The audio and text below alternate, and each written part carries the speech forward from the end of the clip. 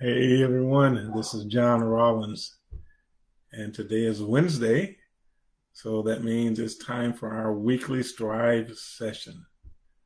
Strive, as you may remember, strategies to remain informed, strategies to remain victorious, strategies to remain empowered.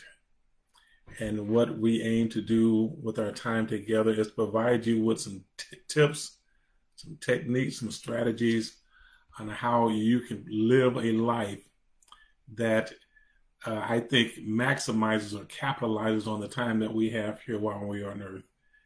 We speak specifically to those individuals who are in the body of Christ. We use biblical principles, we use spiritual principles. We we share information that is consistent with Scripture, and so we hope that it, it provides something that is of value to those of you who are believers. But if for any reason you're not a believer, I believe that there's a lot of truth to what we try to share.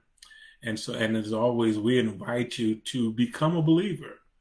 I believe that you would talk to most people who have made that decision. They will tell you that it was one of the best decisions that they've ever made to relinquish the responsibility of trying to pay or earn their way into heaven and to depend on the finished work of the cross, the finished work of Christ Jesus.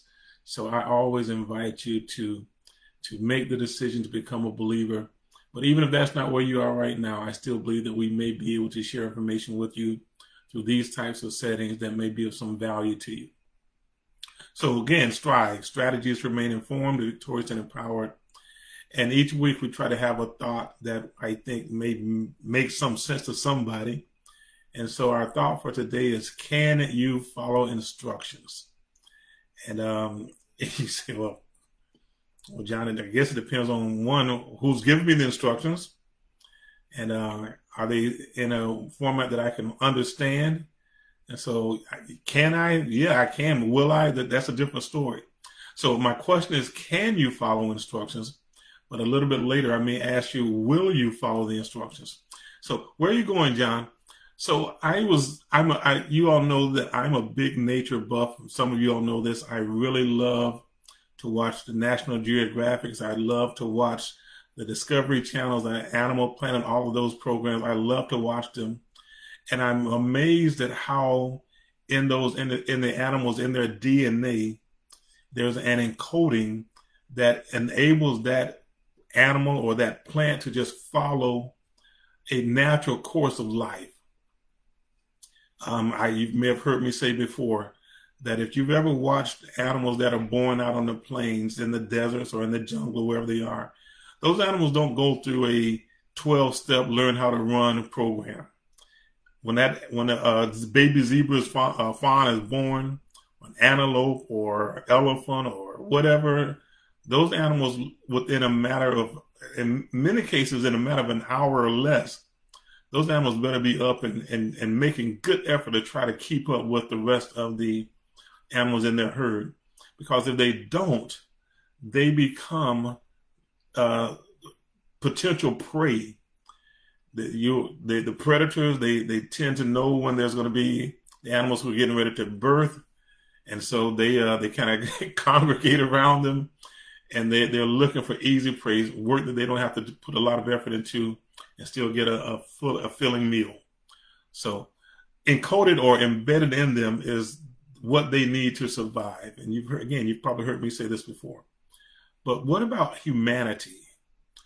We are probably the only being who is completely dependent. And I know that the uh, the elephant is with their their families for years. Some of them stay together for the lifetime. I know that the lions they they help each other. So there's a lot of teaching and training that goes on. But a lot of what they do is instinctive. We, on the other hand, we have to be taught many of the things that we need in order to survive.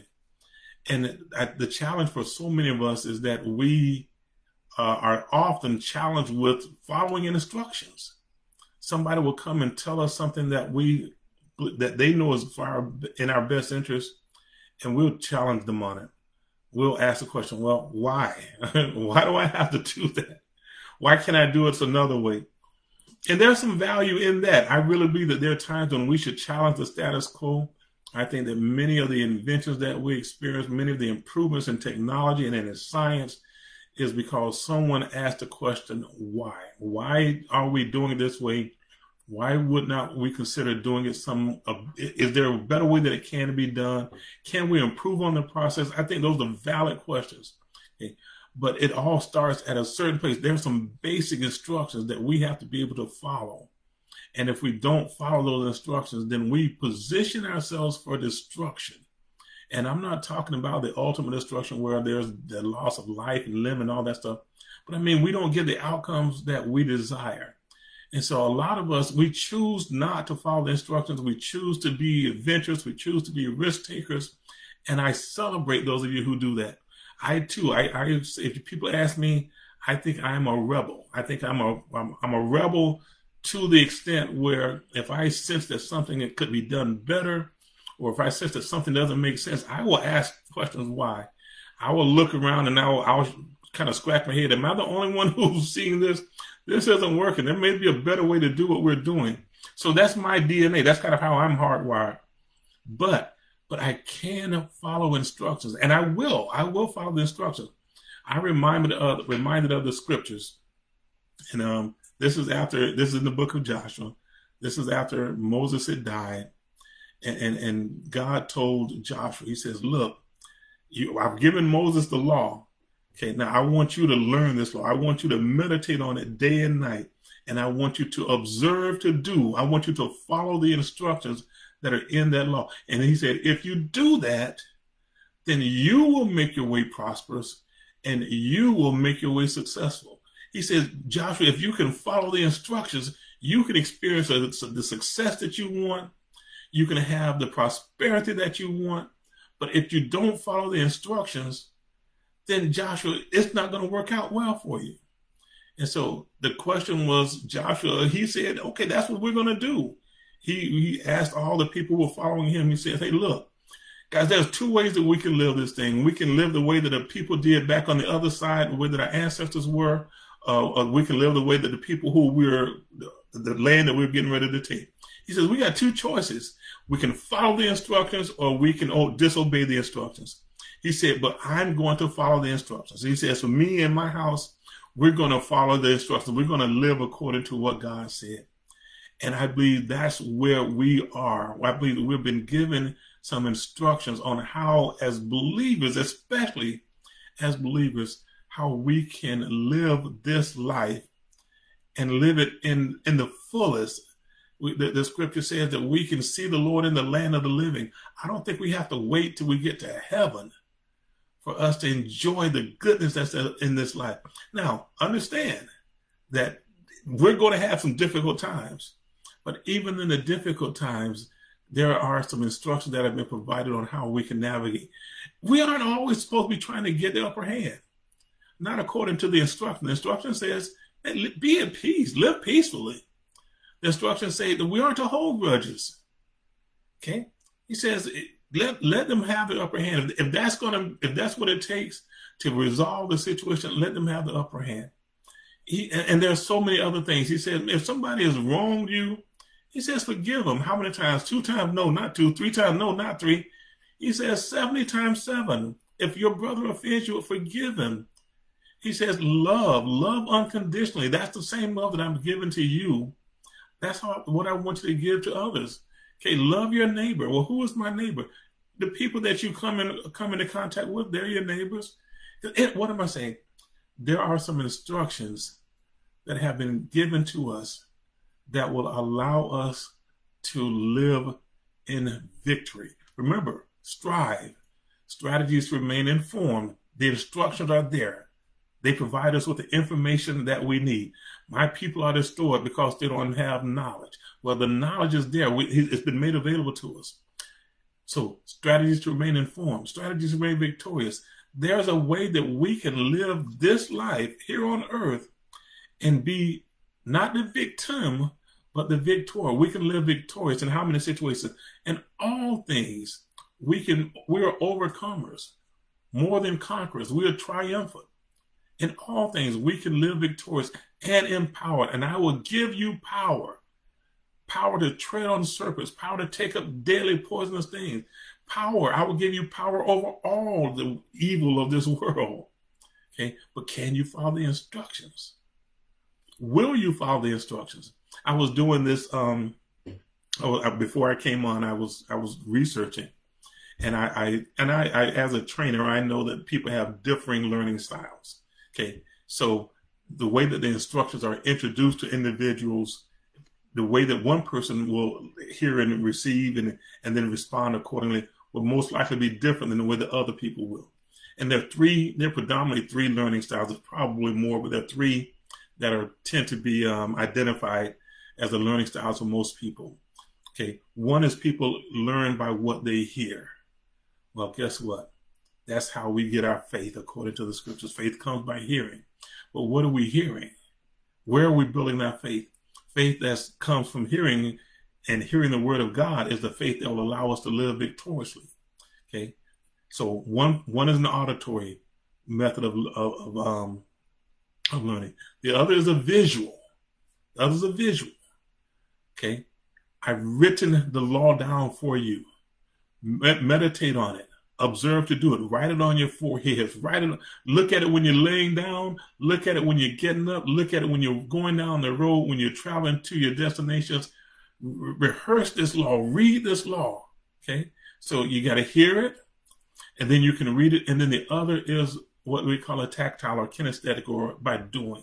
Okay. The three different learning styles, the hearing, the seeing, and the doing. Paul says, guess what?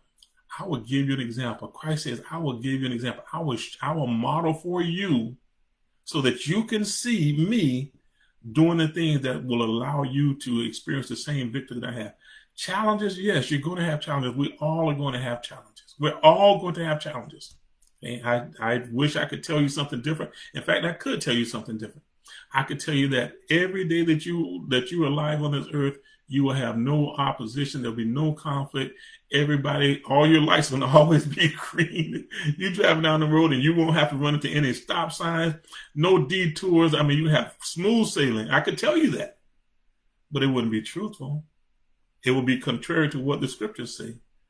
There's going to be times that you're going to you're going to question why are you're here. You're going to question, do you want to remain here? You're going to question, is any of it worth it? But there's also a way for us to live informed, victorious, and empowered. Okay. The instructions are there for us. And, and he said, I will actually put it in your heart.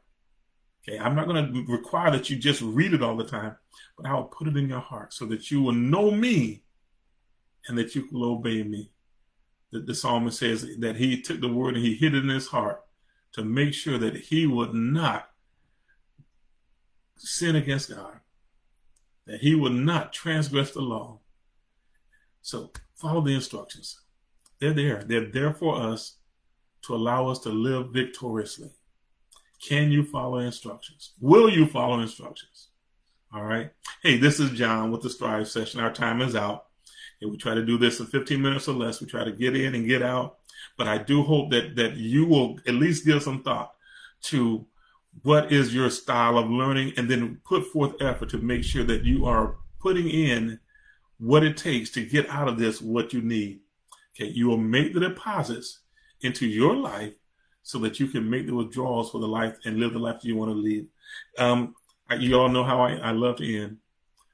Uh, if you've been around this week, you've not had anyone to come into your life to affirm you, to tell you how wonderful you are, to tell you how great you are, to tell you uh, of what you bring to their existence, to their circle, to remind you just how worthy you are. Let me be the one to do so. Okay, you all know it. This is this is my statement. I believe that I've been placed on this earth to communicate this message. Okay, I want to remind you that today, tomorrow, and forever, as long as you're breathing air on this earth, okay, you you are important. All right. Y'all be blessed. We'll see you another time.